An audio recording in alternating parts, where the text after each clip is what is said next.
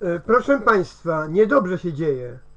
Nie mogę sobie nawet spokojnie odpocząć, tylko czuję się jakby zmuszony ciągle coś dziwnego komentować. Jeszcze się nie skończyło euro, jeszcze nie wyjaśniono wielu wypadków i dziwnych śmierci, i to nieraz bardzo wysoko postawionych osób, a tu mamy następny pasztet. Dziwny zgon generała Petelickiego. Czy Polska jest już krajem mafii i jej porachunków, walki tajnych służb, czy nawet klubem samobójców?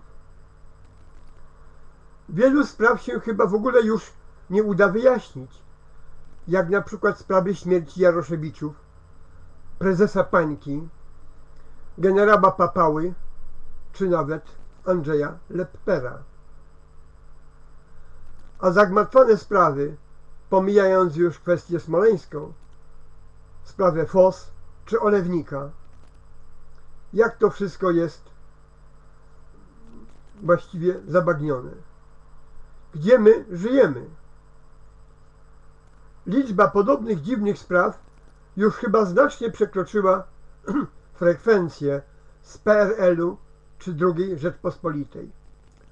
A ponoć mamy wolność i rządy prawa. A może jest jej za dużo, zwłaszcza dla przestępców i dziwnych osób. Ja nie mam złudzeń. Bez wielkiej modlitwy, postów, ofiarności, w tym ofiarowania Komunii Świętej, większość tych spraw zapewne nie zostanie skutecznie wyjaśniona.